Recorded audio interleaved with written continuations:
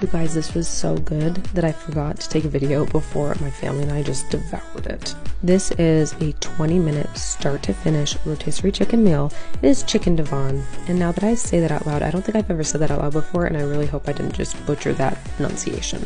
It's a cheesy chicken and broccoli dish, usually made with cream of mushroom soup, soup, soup. Uh, but we're making everything from scratch here. It's super simple, just some chicken broth and heavy cream, seasonings that coat the broccoli and chicken. We top with some Ritz crackers, broil till it's nice and crispy, and then serve over rice or noodles.